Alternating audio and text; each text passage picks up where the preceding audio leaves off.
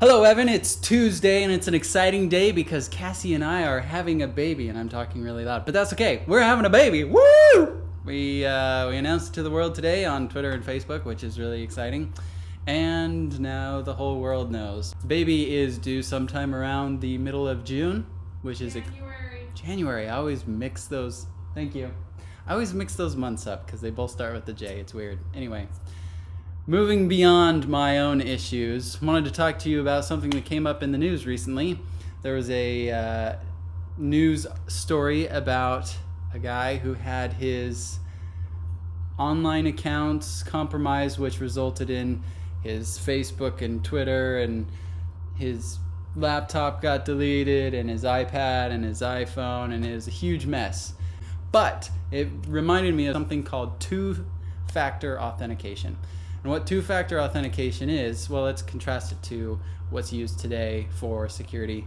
Currently, authentication on websites, devices uses uh, a password. So you have a username and a password, and that gives you access to the device or the information on a website.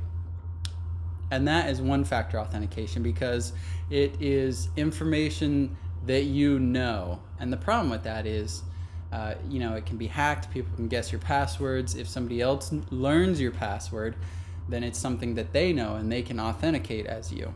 Two factor authentication uses two different factors to authenticate you, usually a password and username combination, along with a second factor of like a text to your cell phone.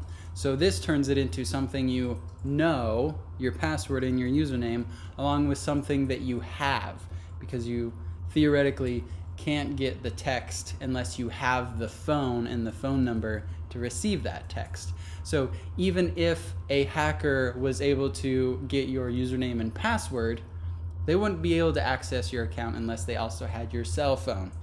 Uh, Google has this enabled on accounts. So if you want to, you can log into your Google account and enable two-factor authentication. So when you log into your Gmail account or whatever, if it doesn't recognize the computer and you haven't saved it, then it will send a text to your phone with a short code and you'll use that to actually log in.